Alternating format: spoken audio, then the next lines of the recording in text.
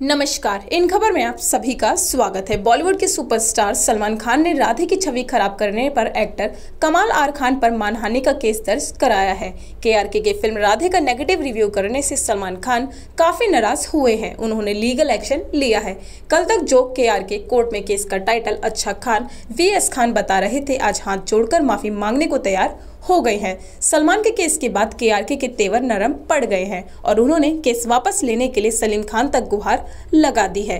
कमाल आर खान ने भाईजान के पिता यानी सलीम खान से गुहार लगाई है कि वह सलमान से कहे कि केस को आगे ना बढ़ाया जाए। के तो सलमान की फ़िल्मों के रिव्यू वीडियो डिलीट करने तक को तैयार हो गए हैं।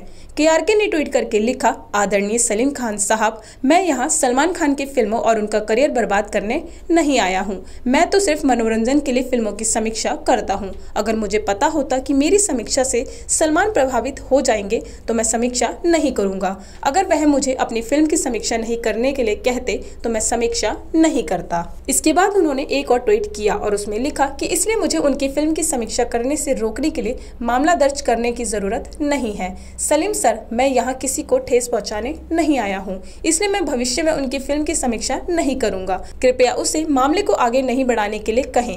यदि आप चाहे तो मैं अपनी समीक्षा वीडियो भी हटा दूँगा। धन्यवाद, सलीम साहब। ये ट्वीट देखने के बाद यूज़र्स के आर के का मज़ाक उड़ा रहे हैं। उनके लिए डरपोक, भीगी बिल्ली, फट्टू जैसे कमेंट्स लिख रहे हैं। एक यूज़र ने लिखा, जंग में जाने से पहले हथियार डाल दिए। दूसरे यूज़र ने लिखा, गजब बेजती हुई के आर के की। वहीं खिल्ली उठाते हुए एक अन्य ने मीम शेयर कर कहा, बस हवा विफल हो गई। आपको बता दें कि कमाल आर खान ने सलमान की राधे देखने के बाद वीडियो शेयर किया था, जिसमें उन्होंने इस फ़िल्म को इतना खराब बताया था कि वो इंटरवल के बाद से देखने के लिए अंदर नहीं जा पा रहे थे और रो भी रहे थे। तो ऐसी ही खबरों पर रहेगी हमारी नज़र। आप देखते रहिए इन खबर।